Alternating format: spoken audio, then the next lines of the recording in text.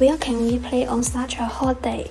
At 2 p.m. Chinatown, July 29, JAMMA Amusement will take you to punch in a fashion sports center. 2,000 square meter large play space. You can play bowling, golf, archery, billiards, and other sports here. Besides, the funny VR games and the game party are very suitable for classmates and friends to get together and lovers today.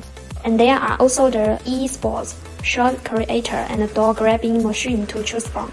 What's more, you can drink free drinks without limit. It's so decompressed that you can play all day. Welcome to our live show and feel the charm of the combination of cyberpunk and fashion sports.